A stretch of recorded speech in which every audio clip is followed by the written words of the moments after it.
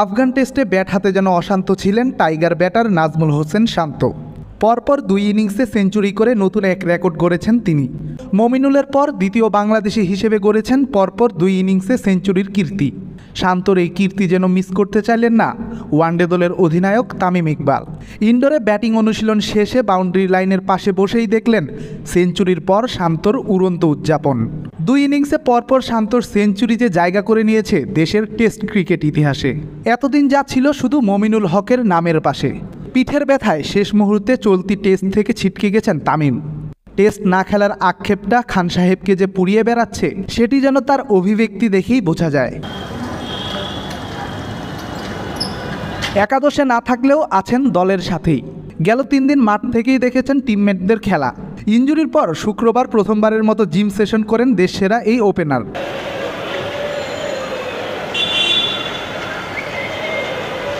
এরপর মিরপুরের ইনডোর গ্রাউন্ডে ব্যাট হাতে অনুশীলন করেছেন টাইগার দলের খান সাহেব। সেখানে বিশ মিনিটের মতো অনুশীলন করে ড্রেসিং রুমে ফেরার পথে মাঠের মধ্যেই হাঁটু গেড়ে বসে পড়লেন তিনি। বাউন্ডারি লাইনে দাঁড়িয়ে থাকা আমির হামজা তামিমের এই বসে পড়া অপলক দৃষ্টিতেই দেখলেন। তামিমও যেন কিছুক্ষণ বসে দেখলেন শান্ত মুমিনুলদের ব্যাটিং। হয়তো এই সময় টেস্ট না খেলার আক্ষেপে পড়েছেন তিনি।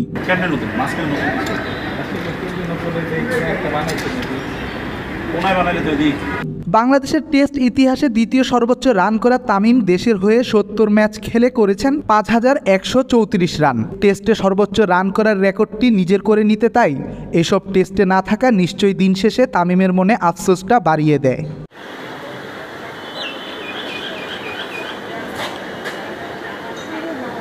Redwan Shaon, daily cricket.